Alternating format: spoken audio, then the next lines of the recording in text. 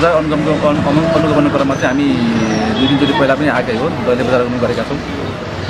खाद्य प्रविधि गुन्जन कार्यालयले एक्लै पनि बजार अनुगमन गर्छ र हामी आज चाहिँ संयुक्त बजार अनुगमन गऱ्यौँ। अनुगमन क्रममा चाहिँ सहायक सूर्य साहबको नेतृत्वमा डिएसपी साहब हामी खाद्य प्रविधि गुन्जन कार्यालय म स्वयं आफै र अरू अन्य निकायको सँगै भएर हामी चाहिँ यो संयुक्त बजार अनुगमन गऱ्यौँ।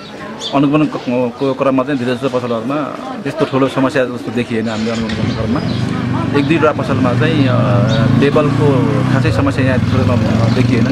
जिल्ला प्रशासनले पनि बेला बेला अनुगमन गरेको कुरा शिव साहबले त्यस्तो जानकारी गराउनु भयो र समस्या भनेको चाहिँ अलि यो मूल्य सूची धेरैले चाहिँ राखेको चाहिँ पाइएन खास गरी उहाँहरूको चाहिँ कस्तो भने सङ्घले चाहिँ दिने चलन भएको छ खास मूल्य सूची उहाँहरू व्यक्तिले आफै चाहिँ राख्नुपर्ने हो व्यवसायीहरूले। एउटा त्यो भने अर्को कुरो यहाँ चाहिँ सबै पस एउटै पसलमा चाहिँ सबै सामानहरू बेच्ने चलन रहेछ रहेछ यतातिर।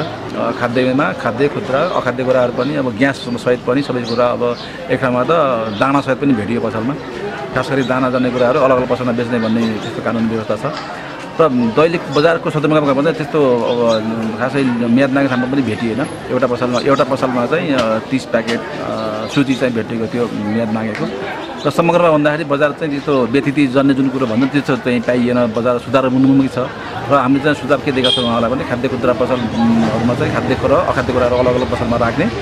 लेबल भएको कुराहरूमा चाहिँ खरिद बिक्री गरेर बेच्ने।